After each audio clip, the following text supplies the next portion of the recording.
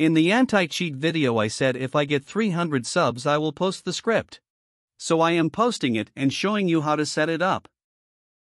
First, join the Discord server in the description. If you do go to channel models then find the message for anti-cheat then clicking the create.roblox.com link for it. Once you're here get the model. Once you have the model, go to your Roblox game and to the toolbox. After your eyes are broken from looking at cringe models in the toolbox, go to the four boxes button at the top. You should see a square called anti-cheat. Drag the box I just showed you to the baseplate or game, and you will see this. Press OK. Open Explorer in the View tab and you should see a folder called Anti-Cheat. Open Game Settings and go to Security.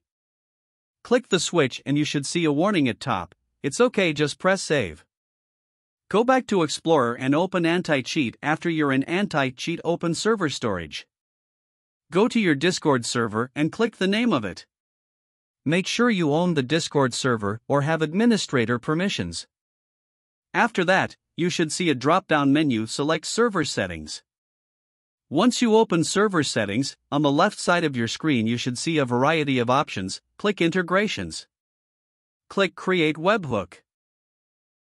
Click the arrow, then click Copy Webhook URL. Go to webhook.newstargeted.com. Click the webhook URL text box. Press Ctrl V on Windows or Command V on Mac. Triple click, not double click, the output box. Press Ctrl C on Windows or Command C on Mac.